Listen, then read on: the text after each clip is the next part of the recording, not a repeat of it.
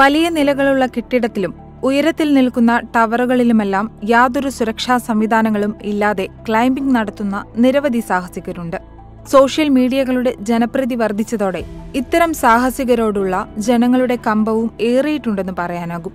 കാരണം ഇവർ തങ്ങളുടെ യൂട്യൂബ് ചാനലുകളിലും ഇൻസ്റ്റഗ്രാം അക്കൗണ്ടുകളിലും മറ്റും ഇത്തരം വീഡിയോകൾ അപ്ലോഡ് ചെയ്യുകയും ലോകപ്രീതി നേടുകയും ചെയ്തിട്ടുണ്ട്.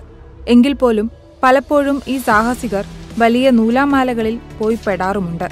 ദക്ഷിണ കൊറിയയിലെ സിയോളിൽ നിന്ന് പുറത്തുവരുന്ന ഇരുപത്തിനാലുകാരനായ ബ്രിട്ടീഷ് യുവ ക്ലൈംബറിന്റെ കേസ് ഇതിനുദാഹരണമാണ്. ജോർജ് കിങ് തോംസൺ എന്ന ഈ ക്ലൈംബറാണ് ഇപ്പോൾ നിയമ നടപടികൾക്ക് വിധേയമായിട്ടുള്ളത്. കാരണം ജോർജ് കിങ് കയറാൻ ശ്രമിച്ചത് ലോട്ടെ വേൾഡ് ടവർ എന്ന നൂറ്റി ഇരുപത്തിമൂന്ന് നിലകളും അഞ്ഞൂറ്റി അൻപത്തിയഞ്ച് മീറ്റർ ഉയരവുമുള്ള ഒരു അമ്പരചുംബിയായ കെട്ടിടമാണ്. രണ്ടായിരത്തി പതിനാറിൽ കെട്ടിടത്തിന്റെ പണി പൂർത്തിയാകുമ്പോൾ ലോകത്തിലെ ഏറ്റവും ഉയരം കൂടിയ അഞ്ചാമത്തെ കെട്ടിടമായിരുന്നു ഇത്. രണ്ടായിരത്തി പതിനേഴ് മാർച്ച് ഇരുപത്തിയെട്ട് മുതൽ അഞ്ഞൂറ്റി തൊണ്ണൂറ്റിയൊൻപത് മീറ്റർ ഉയരമുള്ള അമ്പരചുംബിയായ പിങ് ആൻഡ് ഫിനാൻസ് സെന്റർ വന്നതോടെ ആറാം സ്ഥാനത്തേക്ക് ലോട്ടെ വേൾഡ് ടവർ എത്തിച്ചേർന്നു. ദക്ഷിണ കൊറിയയിലെ നൂറിലധികം നിലകളുള്ള ആദ്യത്തെ കെട്ടിടവും രാജ്യത്തെ ഏറ്റവും ഉയരം കൂടിയതുമായ കെട്ടിടം കൂടിയാണിത്.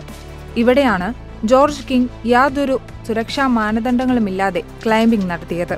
ജോർജ് കിങ്ങിന്റെ വളരെ അപകടകരമായ ഈ സാഹസിക കയറ്റം ടവറിന്റെ എഴുപത്തിമൂന്നാം നിലയിൽ എത്തിയതോടെയാണ് അധികൃതരുടെ ഇടപെടൽ മൂലം ശ്രമം ഉപേക്ഷിക്കേണ്ടി വന്നത്. പോലീസും ഫയർഫോഴ്സും ജോർജിനെ താഴെയിറക്കാൻ ഒരു മണിക്കൂർ നേരമാണ് ടവറിന് താഴെ കാത്തുകിടന്നത്. തുടർന്ന് ഫയർ ഡിപ്പാർട്ട്മെന്റ് ഉദ്യോഗസ്ഥർ ജോർജിനെ ക്ലൈംബിംഗിൽ നിന്ന് പിന്തിരിപ്പിച്ച് കസ്റ്റഡിയിലെടുക്കുകയായിരുന്നു. രണ്ടായിരത്തി പത്തൊൻപതിൽ ലണ്ടനിലെ ഷാർഡ് കെട്ടിടത്തിൽ കയറിയതിനും ജോർജ് ഇതിനു മുൻപ് നിയമത്തിന് വിധേയനാവുകയും ജയിലിലടക്കപ്പെടുകയും ചെയ്തിരുന്നു.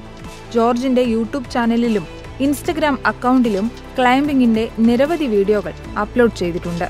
ലോകം മുഴുവനും നിരവധി ആരാധകരുള്ള ക്ലൈംബിംഗ് താരം കൂടിയാണ് ഇയാൾ.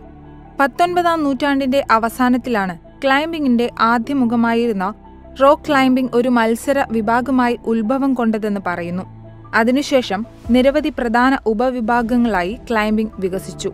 രണ്ടായിരത്തി ഇരുപത്തിയൊന്നിൽ ടോക്കിയോയിൽ നടന്ന ഒളിമ്പിക് ഗെയിംസിൽ സ്പോർട്സ് ക്ലൈംബിംഗ് സ്പീഡ് ക്ലൈംബിംഗ് എന്നീ രണ്ട് വിഭാഗങ്ങളിൽ ക്ലൈംബിംഗ് ആദ്യമായി ഒരു ഒളിമ്പിക് സ്പോർട്സ് ഇനമായി മാറിയിരുന്നു.